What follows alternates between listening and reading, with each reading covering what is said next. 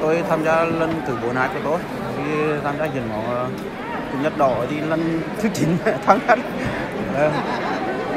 Ờ, cùng chặng đường à, năm đoàn thì tham gia hiến máu là thì các cái chương trình chủ nhật đỏ thì tôi đều tham gia. Thì ờ, cái chương trình hiến máu nhân đạo thì tôi luôn đồng hành. Thì ờ, một là một cả cán bộ đoàn. Thì luôn uh, tích cực vận động các uh, đoàn viên và trong nhân dân và tham gia hiến máu. Mong rằng có sức khỏe tốt thì cứ tham gia hiến máu.